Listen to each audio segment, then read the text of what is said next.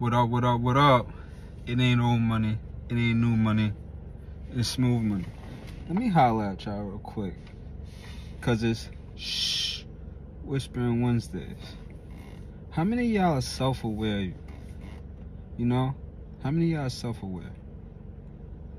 Do you know what's going on internally and within yourself? Is your mental health right?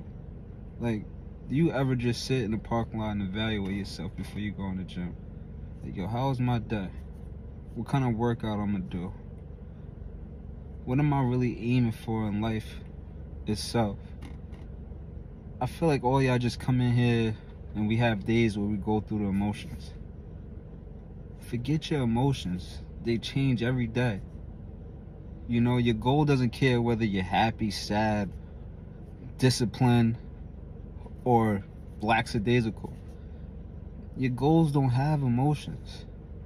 So remember to keep your aim on the prize. Me personally, I stopped using headphones. Why? Because I don't need them. I'm locked in. I'm listening to my body. I'm going in here, hitting every muscle group the way I want to hit it. And for the most part, I'm doing all the workouts that I want to do to the weight that I want to live. I've been doing this for a while. I can't say like when I started I was just excellent. No, I wasn't. It took practice, of course, and failures and success, gains and losses. That's just the game we play. But in this life thing, you got to be conscious. Open your mind. Open your mind to the things that's around you because life is deeper than these flesh and bones. And I can't talk to people that are asleep. I'm willing to talk if you're willing to listen.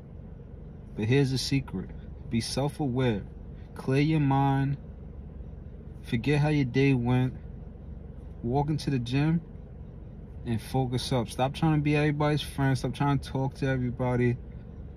Hit your machines, hit the weights, and keep it moving. I love y'all.